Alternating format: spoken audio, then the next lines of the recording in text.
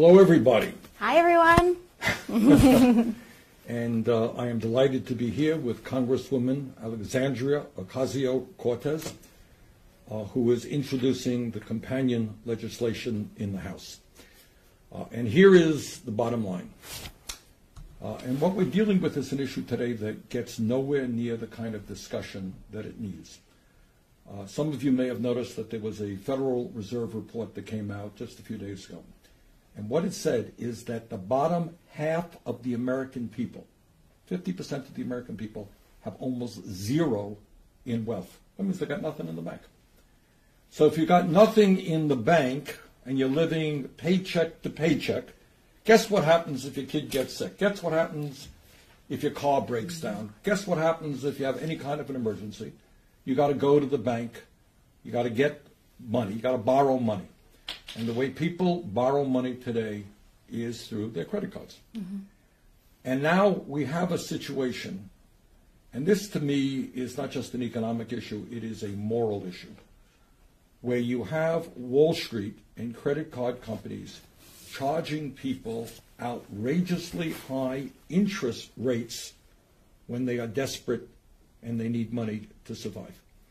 You know, Alexandria, I suspect you know this, but every mm-hmm. major religion on earth, Christianity, Judaism, Islam, has condemned usury That's right. because it is really disgusting. I mean, I don't know mm-hmm. a better word. Is if somebody is desperate and you say, You're desperate, mm-hmm. you need money to take care of your children, to feed your family. Well, I'm going to lend you money, but it's going to be at an outrageously high interest rate. And that's what Wall Street has done. So right now, you're looking at a medium, cre- median credit card interest rate now of over 21%. That means half of the American people are actually paying more than that. Mm-hmm. So if you're earning 10 bucks an hour now, you don't have enough money to take care of your family, you're going to be paying 22, 25% interest rates. And then on top of that, what is not widely dis- discussed, you go to Macy's, you go to Kohl's, you go to any large department store, and they mm-hmm. say, mm-hmm. hey, get our credit card. Well, you get their credit card. What you don't know is you're going to be paying something like 27% interest rates on that credit card. That's right. 27%. Now, how much do the banks borrow money at? They borrow money from the Fed at 2.5%, and then they charge people 18, 20, 25% interest rates. And here's what is even uglier. The poorer you are, mm-hmm. the more desperate you are, the higher the interest rates are. Now, uh, what Alexandria and I are proposing in our legislation is something that is not complicated. It just takes us back to where we were a number of years ago, and that is that no bank in this country uh, should have credit card interest rates of over 15%.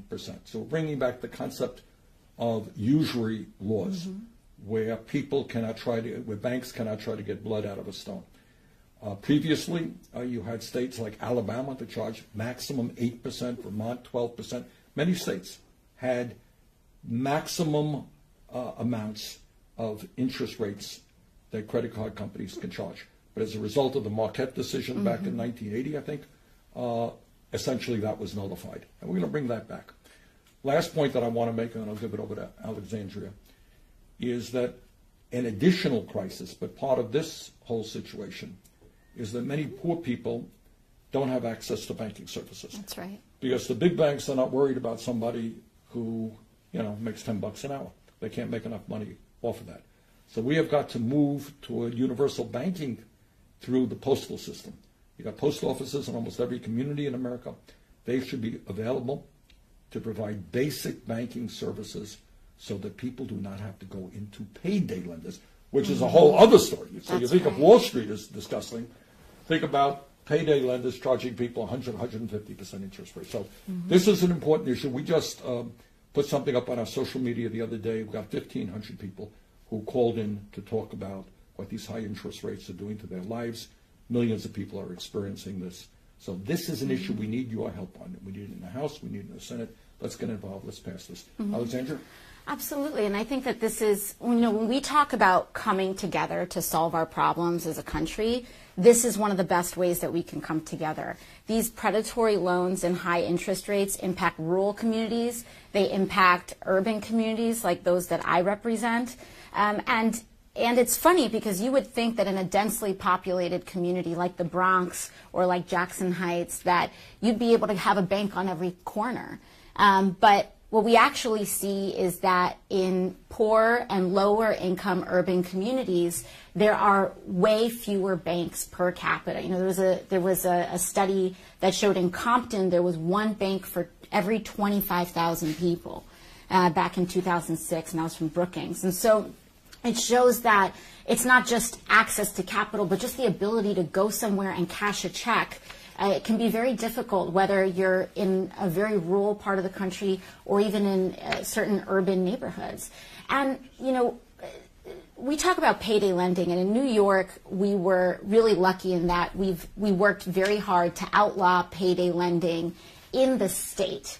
Uh, but what happens when when everyday banks start to charge higher and higher interest rates. Essentially, your credit card becomes a payday loan. And uh, this is not anything radical because we had these laws for a very long time in red states, we had them in blue states, we had them in half of the United States had usury laws until 1978 when they were repealed. And ever since then, um, it's given a blank check for credit card companies and for big banks to charge extortion level interest rates to the poor. And the reason this is a moral issue is because we should not be uh, using people's misfortune and using people's uh, income status as a basis for extortion and as a basis for predatory lending. Um, 15%, by the way, is a lot. 15% interest is a lot. So you can run a bank, you can continue to be profitable, um, but eh, to charge 30, 40% interest rates is no less than extortion. I heard, uh, I heard from constituents in my own district, people have to take out loans connected to um, our, our horrible state of health care and our inhumane state of health care in the United States that I was just hearing from a constituent who had to take out a $40,000 loan to pay for his mother's cancer treatments. And they gave him, the bank gave him over a 20% interest rate so that he could pay for his mother's cancer treatment. So what happens? He was paying, this was back in 2006, he was paying them uh, completely uh, on time, $800 a month he was paying on this $40,000 loan to keep his mother alive. And when the financial crisis hit, he lost his job. He was struggling to make payments. And without telling him, they sold his loan off to a different debt servicer. They sued him in court. He got no notice for it. And then it wasn't until his wages were getting garnished that he found out that there was a settlement for him to pay $53,000 on a $40,000 loan, of which he had already paid $28,000. To keep his mother alive. To keep his mother alive. And that is legal and it is common in the United States of America, but it is not normal and it is not humane. And I should add that this year, uh, people in the United States will pay $122 billion in credit card interest and that is a 50% increase in just five years. So what you have, you got payday lenders over here, which is beyond belief. I mean, that is just disgraceful beyond imagination. But you got all these guys in their three-piece suits who are now the new loan shark uh, hoodlums uh, that we used to see in the movies. You know, we see in the movies the guys, "I'll break your kneecap if you don't pay back." Well, yeah, well, I don't know that they break kneecaps. But now they'll take your home. No, that's right. Maybe do something even worse, or maybe pull the plug on your mom uh, who needs medical treatment. So let's be clear about what we're talking about. We're talking about economic brutality.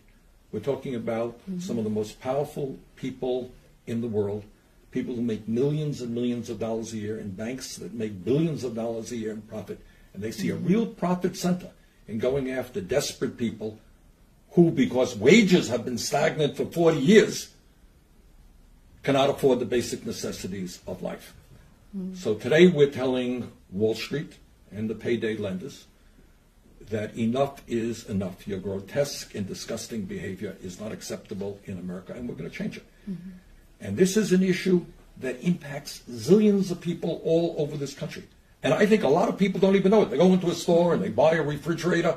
They don't know that they're paying 26% interest And rates. you know, it goes, it, it just goes to show that all of these issues are connected, and it all comes back to our pocketbook.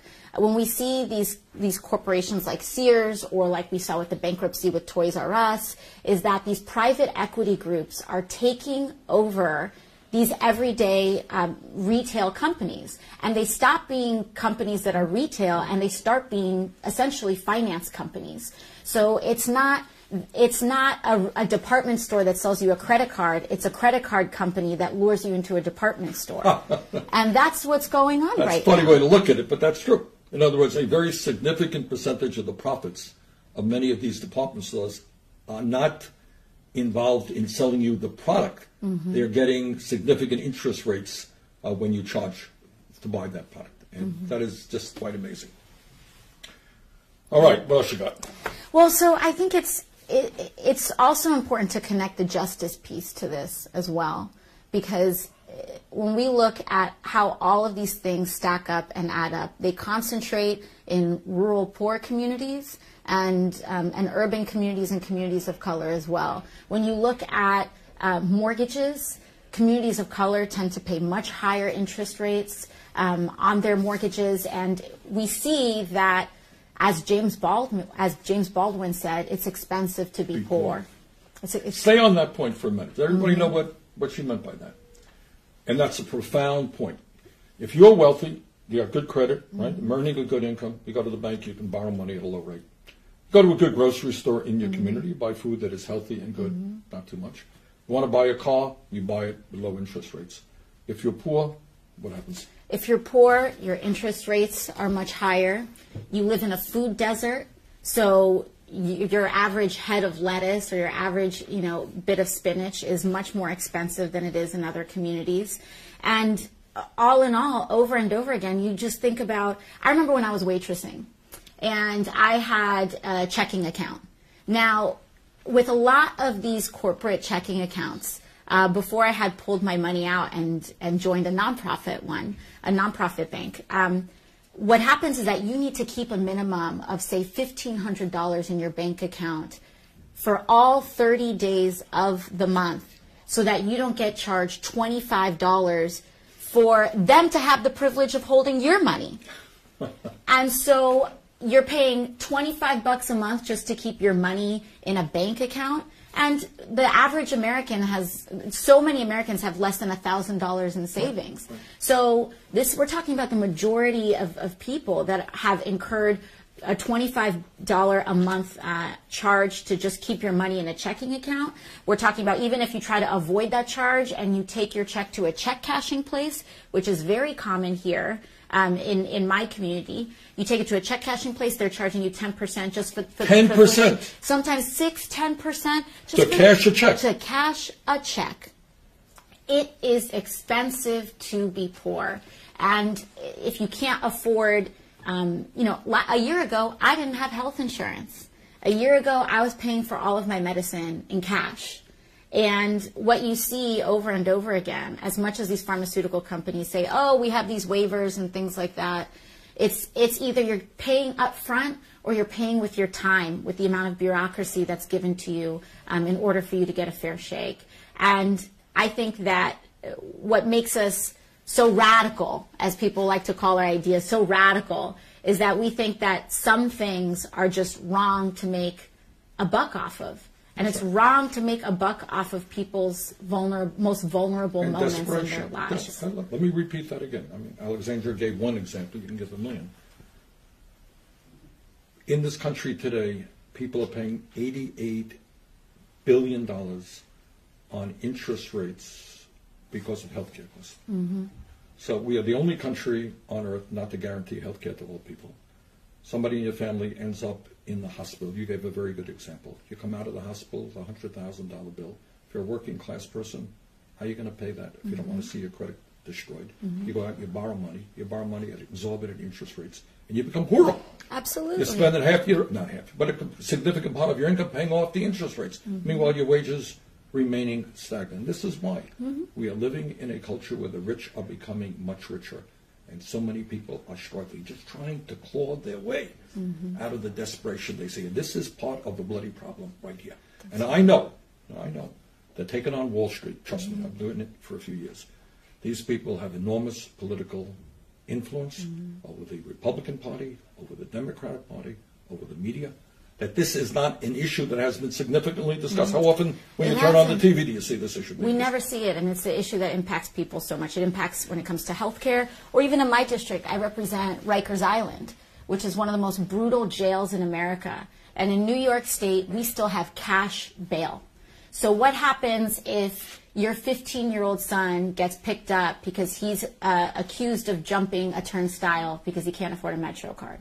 Or if your kid gets picked up because someone said that another young man of color who looked like him had allegedly run off with a backpack. Well, if you cannot afford your bail, you get thrown to Rikers. And if you have to resort to a loan to get to afford to bail out, let's say your husband who's a who's a primary income earner or because we're talking about time spent away from work when you're thrown in jail. So if you have to take a payday loan or take or go to a bail bondsman because uh, cash bail is another system where really our entire court system is a system where justice is purchased Everybody not what she's saying. This is what she's saying. This is, I mean, you stop and you think about people say, this can't go on. This is America, Mm-hmm. right? So somebody in the family gets arrested, and their alternative is that they're going to stay in jail awaiting their uh, trial. For an unknown period of time. Exactly. All right. That's a whole. We got a whole other issue we can talk Yeah. about. You got the twenty percent of the American people today are in jail mm-hmm. because they can't afford cash bail. Okay. So the wife says, "Well, I got to get my husband out of jail." So where's she going to go to get the money? She's about to borrow the money at an outrageous payday lender to get her husband out of jail, and she falls. Family falls further and further into poverty. And ultimately, I mean, what this comes down to is the issue of greed which is permeating every aspect of our society. It is Wall Street. It is the drug companies. Don't get me off on the drug companies. Ten of them made $69 billion in profit last year, but you can't afford the medicine that you need. It is the insurance companies that pay their CEOs outrageous compensation packages. You can't afford health insurance.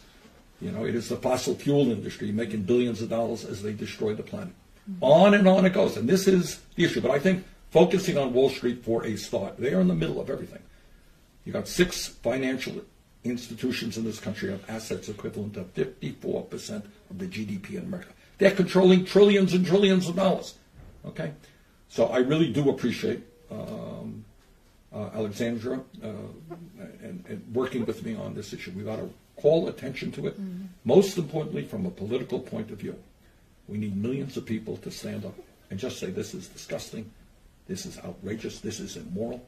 It cannot be allowed uh, to continue. Alexandra? Yeah, no, and I'm just thankful to be able to move this in both the House and the Senate. It can be very challenging sometimes to find uh, to find working partners, and I think that what we're really doing is setting out a vision of what a moral America looks like and what a moral economy looks like, and that we can be a prosperous nation. We can be one where working people are paid enough to live, where you are, where your health needs are covered, where you can work 40 hours a week and survive.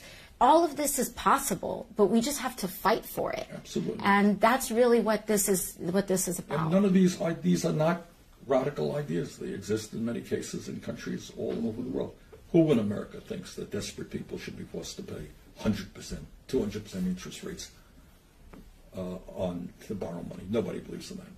But you got a lot of powerful special interests here who have enormous influence over the Congress, over the Senate, and that's why we have what we have. And our job is to rally the American people for what are not radical ideas, but just ideas that deal with justice and dignity. That's all. Absolutely. All right, what do we got, guys? We've got some questions coming in. Got just a couple. One is um, asked how to fight back against the, the big banks and their lobbyists to oppose this. when they start fighting back on Capitol Hill and in the states. So the question was, how do we fight back against the extremely powerful financial services lobby and big, big bank lobby when, when this bill hits Congress? Uh, I think one big one is do not under, especially for us here on, on the House side, do not underestimate the power of calling your member. People say it over and over again. It's almost like at your dentist telling you to floss. But I'm telling you, I see it firsthand. You know, members really do respond to pressure. And so when you call your member and say, hey, where are you on this bill? Can you co sponsor it? I believe that this is right. Can you put that in there? Um, it's something that, that's really important. And we, we will put up information to help you lobby and advocate for it. Because sometimes your member will push back. They'll say, well, if we, if we cap it out at 15%, then no, no poor person will get a loan. That's maybe what they will tell you. But what we can then say is A, we should have a non for profit public option for basic banking services, and we should be piloting these projects Right. um, through the U.S. Postal Service or, or in any other number of ways. And, um, and also, it's just based on the basic principle that this should not be a, a profiteering aspect of the country. We've had these laws before. Credit unions abide by them. And guess what? They were one of the only ones that didn't need a bailout in 2008. and they are doing very, very well. Look, bad things happen in Congress because politicians assume that people are not paying attention or are not prepared to fight back. On this issue, you do a poll out there whether you think that Wall Street should charge people 30% interest rates. Mm-hmm. I doubt that very many people think that they mm-hmm. should. But A, nobody knows about it, and B, nobody is now in an organized effort to resist it and fight back. So Alexandria's point is exactly right. Stand up, fight back, get on the phone call, get on mm-hmm. the telephone, start emailing, you know, and if you want to organize around a local bank and say, you know, talk about the greed of that bank, uh, you can do that as well. Let's call attention to this issue, and once we do, and millions of people rally around it, we can win this thing. Josh? One last question. Um, Marty remembers when credit card rates uh, at the state level were as low as five percent. Um, what happened, and how can we get back to where states can do their own thing? right, the question is, there was once a time where if you lived in Vermont or you lived in Alabama, you lived any place, there was a limit to what the credit card companies could charge in interest. There were usury laws. And that was done away with essentially in 1980 by a Supreme Court decision that said that banks could uh, hold charters in South Dakota or in Delaware where there were no interest rates. So they all did that. Uh, and then essentially uh, all of the uh, limits on interest rates were nullified. And we got to where we are right now. So essentially what we are doing is going around that decision. And, and here's a point to be made. It's not just that we think 15% is a low interest rate. This will give states the opportunity to go even lower than that. Okay. Absolutely. Well, I'm just glad that we've had the opportunity to push the needle forward, and I think that um, that this is really what we need, and we need to continue the charge on advancing the ideas that are going to define not just uh, the the Democratic or Republican agenda, but really define the country. And what I love about big and ambitious ideas, um, whether it's this or whether it's the Green New Deal, is that it forces the Republicans to change their agenda too. Because this is us going on offense. Right. And for example, right now, it is no longer a politically tenable, ten, a politically tenable position to deny climate change. We got Mitch McConnell on the record for the first time saying climate change is real and man-made. And now we're going to get Republicans on the record saying uh, extortionary interest rates are wrong and that we got to do something about it. That's what we're going to get Republicans on the record to do. That's right. I mean, these ideas are ideas that the overwhelming majority of the American people believe it. So it's not that they're radical. What is radical is that you have a Congress that is so far out of touch mm-hmm. of where the American people are. The idea that health care is a right, not a radical idea. Most mm-hmm. people don't think so. The idea that you don't charge outrageous interest rates, not a radical idea. The idea that we have to move boldly to address climate change, mm-hmm. not a radical idea. All right? But these guys will continue to get away with murder unless people stand up and fight back. So that's the message today. We can win this thing. Okay? Let's go forward together on it. All right? See ya. Thank you. Bye.